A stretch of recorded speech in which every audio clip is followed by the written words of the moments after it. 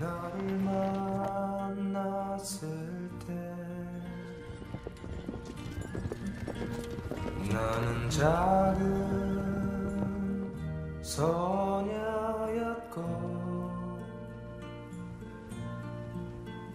머리엔 제비꽃 나는 웃으며 내게 말했지.